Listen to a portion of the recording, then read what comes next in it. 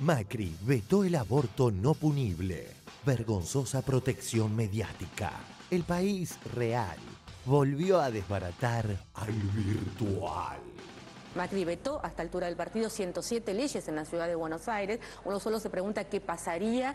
Digo, vos querés que discutamos el, aborto a nivel nacional, decime qué puede llegar a pasar si, a la semana de discutir el aborto a nivel nacional la presidenta decide vetarlo.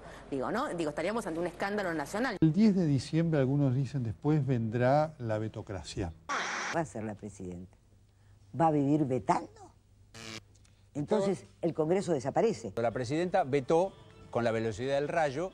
La era del veto. Unos dicen que va a ser el Congreso de la vetocracia. Esperemos que no. Este, yo, viendo cómo se mueve el gobierno, obviamente hoy tengo que decir que, es esperable. Creo que va a ser grave esa situación porque, porque desconocer el poder legislativo como uno de los poderes fundamentales de la democracia, como el corazón de la democracia, donde están representados todos los, los partidos políticos y las visiones de los ciudadanos, digamos, este, en relación con la ideología y la política, eh, sería muy grave. Nuevo veto del jefe de gobierno de la ciudad de Buenos Aires, Mauricio Macri. ¿Por qué se decidió vetar la ley del aborto en la ciudad? La verdad que la ley que había sancionado en la legislatura nos pareció inadecuada. Que desconocer el poder legislativo, creo que va a ser grave esa situación. Yo no veo ese escándalo en la ciudad de Buenos Aires porque Macri vetó una ley que acaba de votar la legislatura sobre un tema tan sensible después de discutirlo cinco años en la legislatura de Ciudad de Buenos Aires y que es el veto número 107 en la ciudad de Buenos Aires. Este ingenioso afiche retrata a la perfección el contraste entre el lado mañeto de la vida y el otro. 107 nietos,